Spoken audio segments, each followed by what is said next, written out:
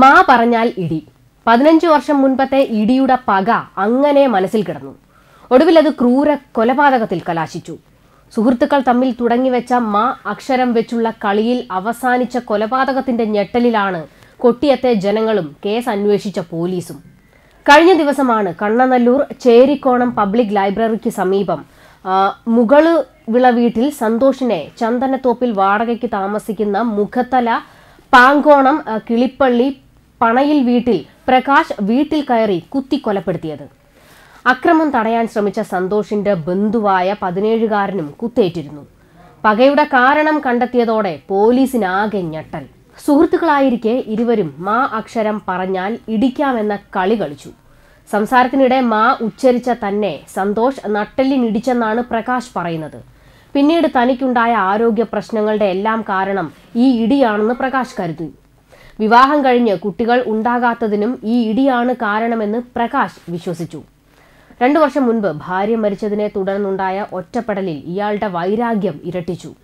ഒരു വർഷമായി സന്തോഷിനെ വകവരുത്താൻ കത്തി വാങ്ങി അവസരം കാത്തിരിക്കുകയായിരുന്നുവെന്ന് പോലീസ് പറയുന്നു. പെയിന്റിംഗ് തൊഴിലാളിയായ പ്രതി ദിവസവും സാൻഡ് പേപ്പർ കൊണ്ട് കത്തിയുടെ മൂർച്ച കൂട്ടിക്കൊണ്ടേയിരുന്നു. ഞായറാഴ്ച രാവിലെ ഇവർ നേരിൽ കണ്ട് സംസാരിച്ചിരുന്നു. വീട്ടിൽ സന്തോഷ് ഒറ്റയ്ക്കാണെന്ന് മനസ്സിലാക്കി. ഉച്ചമയക്കത്തിലായിരുന്ന സന്തോഷിനെ വീട്ടിൽ കയറി കുത്തി കൊലപ്പെടുത്തുകയായിരുന്നു. ഇരുപത്തിമൂന്ന് കുത്തുകളാണ് സന്തോഷിന്റെ ദേഹത്തുണ്ടായിരുന്നത്. അതിൽ മാരകമായ മൂന്ന് കുത്തുകളാണ് മരണകാരണമായത്. ആന്തരികാവയവങ്ങൾ പുറത്തു വന്ന സന്തോഷിനെ നാട്ടുകാർ ആശുപത്രിയിൽ എത്തിച്ചുവെങ്കിലും മരിച്ചു.